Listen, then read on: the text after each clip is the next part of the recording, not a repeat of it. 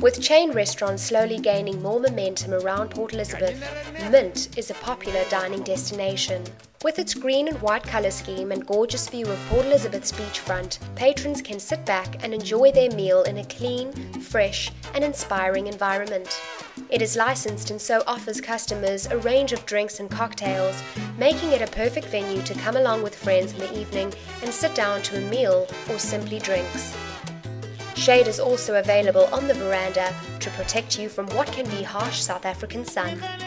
The harbour provides a picturesque background as you dine on food from a delicious menu of breakfasts, lunches, or dinners. It's the perfect venue along Port Elizabeth's beachfront for the gathering of family, friends, or for business meetings, parties, and events.